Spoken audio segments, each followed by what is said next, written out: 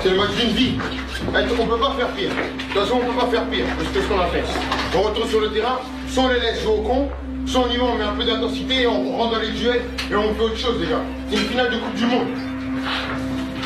Ce qui s'est fait? Ils ont mis deux buts, on a mené deux buts. Ah, on peut revenir, hein.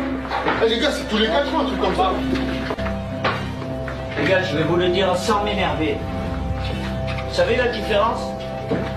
C'est que eux, là, en face, ils jouent une putain de finale de Coupe du Monde. Et nous, on la joue pas. Ça a sonné, euh,